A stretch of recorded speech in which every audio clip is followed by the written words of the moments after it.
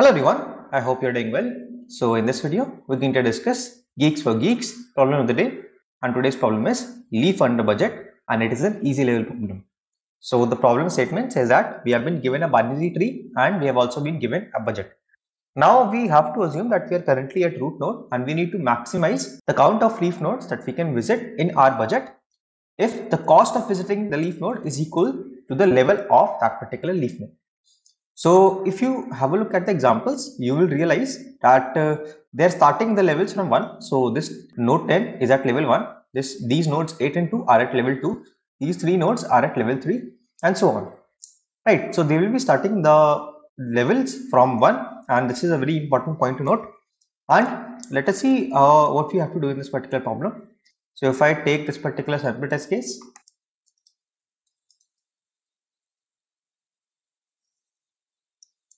So this is the binary tree that I have.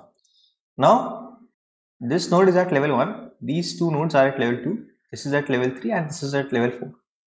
Right. So I have to count the number of leaf nodes I can take under my budget. Right. So first of all, let us find out what are the leaf nodes.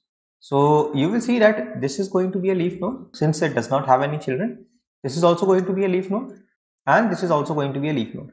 So a leaf node is a node which does not have any further children. Now if I note down their levels, so the first is 3, then I again have a 3 and then I have a 4. Now my total budget is going to be 8, so it is always optimal to take the nodes with the smaller level first. Right, there is no other way you can form a better answer than this. You might get a same answer as well, but you will never be able to form a better answer if you try any other approach. It's just a simple greedy algorithm that you just have to take the nodes with smaller level first right. So if you do this particular thing continuously you will be able to find out what is the correct answer. Now the only task in this particular problem is to find out the levels of all nodes. And for this you can just do a level order traversal. So why would we prefer a level order traversal and not any other traversal? Because the first reason is if you do level order traversal you will get all the nodes of a particular level at once so you will be getting all the nodes of level 3 at once and then you will be getting all the nodes of level 4 at once and so on. Moreover, whenever you do level order traversal, you will realize that you will be visiting all the nodes of level 1 first, then level 2 and then level 3 and so on. So the greedy algorithm that we are trying to apply will be placed automatically because we will be visiting the smaller levels first. So we don't have to do anything. We just have to do a simple level order traversal in this particular problem so we do a simple level order traversal and while traversing we just have to check if there is a node. If node is leaf node, so I'm just writing it like pseudocode. So if node is equal to leaf node, that means I can try to take this particular node and obviously I can only take it if my level is less than equals to the value of k.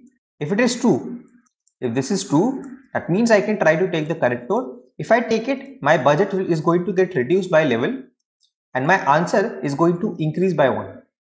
Right. So this is exactly what you have to do in this particular problem. Now if you don't know how to do level order traversal, it's very very simple. You can just use a simple queue. So this time we are just going to use a pair of node pointers. So the first part of the pair will be a node pointer. The second part will be the current level of this particular node right? So once we have this queue, we are just going to push the root node into the queue, which is this particular node, and each node is going to push its children at the end of the queue, right? So this is just similar to what we generally do in a BFS, and this is the only thing that will have to take any node and push it and push its children into the end of the queue. And obviously, when you push the child, you will have to increase your level of that particular child by one, right? So let me show you the code and it will be much more clear to you. So you see what I've done is I've initialized my answer variable with 0 and I have a queue which is a pair of nodes and integers. So this is the node pointer and the second part is integer. Now I have to push the starting element. It is going to be the root node and the levels are starting from 1. Now while my queue is not empty, I'm just going to take my current node and level. So I'm just going to take the queue dot front and store those in these variables current and level.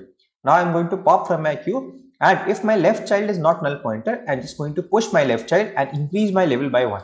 Similarly, I do the same thing. I push my right child and increase my level by 1. Right. So if there is not a left child and there is not a right child, means it is going to be a leaf node. and if it is a leaf node i'm going to check if my level is less than equals to k that means if it is under my budget i'm going to decrease my budget by level and i'm going to increment my answer so at the end i can just return my answer and that would be the final solution of this particular problem. So let me just quickly submit this and show you that this code works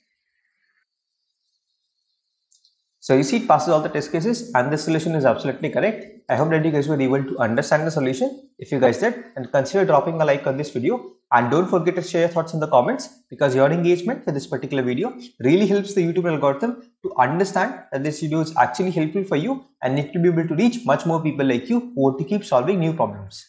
So I see a lot of people who watch these videos are not subscribed yet. In case you're one of them, then definitely consider subscribing. It's always free of cost and you can always unsubscribe if you don't find the videos interesting later. So share this channel with your friends. Until the next video drops, keep coding, stay safe, bye bye.